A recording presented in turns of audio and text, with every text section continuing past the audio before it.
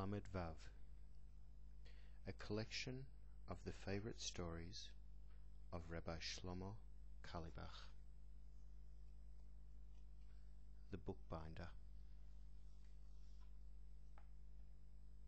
The Talmud says that when we learn we should always say the words out loud.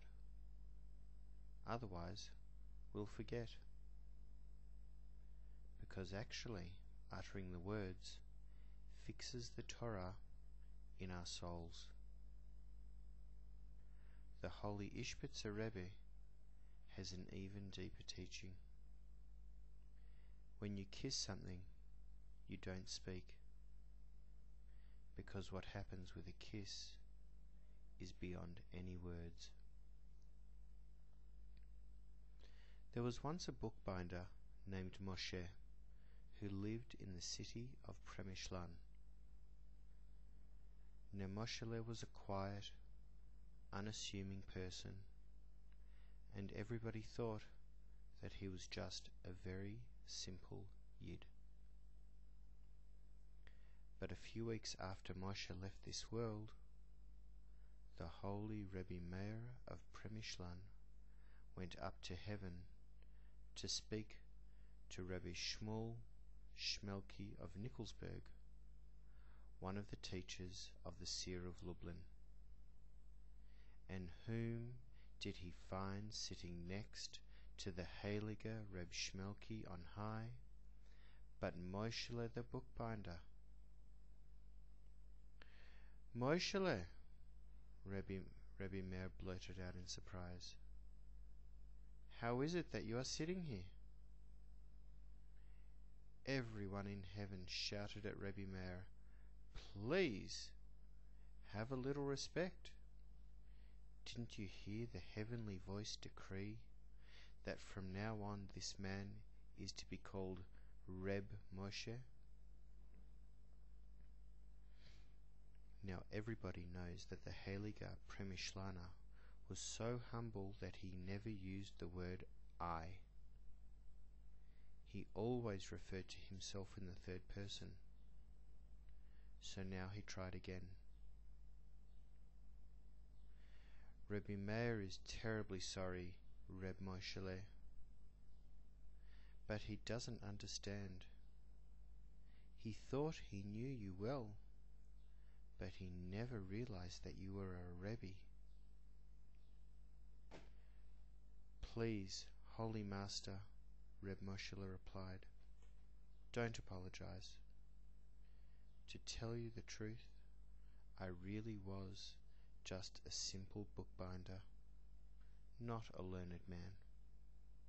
To me, it was a great honor simply to prepare the holy books that others would use in their study. But let me ask you, do you know how to bind a book? You always have to trim the edges of the pages to make the sides of the book straight. These cut pieces just fall down to the floor. But of course, you only cut off the parts of each page that have no writing on them. All day I would trim the pages and bind them together. Then every night I would lie down on the floor and gather up all the edges I'd cut off. Of course, I thought these pieces were blank. Yet, blank or not, I kept remembering they had come from holy books. So I'd reverently kiss every scrap of paper, take them all to the cemetery and bury them, as is fitting for fragments of holy Sfarim. Two weeks ago, when I came up here to heaven, all those pieces of paper were waiting for me. For the first time, I could see what was really written on them, and so, as my reward for honoring them, I'm now sitting next to Reb Shmuel Shmelki. You know paper with writing on it is holy, but it's not as holy as paper that appears blank. When you find this kind of holy paper, hold it up. Look at it with the light of a candle, but not the glow of a regular candle, with the light of the candle of your soul. On this blank paper, find your name, your father's name, your great great great grandfather's name. See how you are connected to all the Yidden in every place and in every time, all the way back to Avraham Avinu. Then imagine how it feels to find the names of your children, of your great great grandchildren on that blank piece of paper.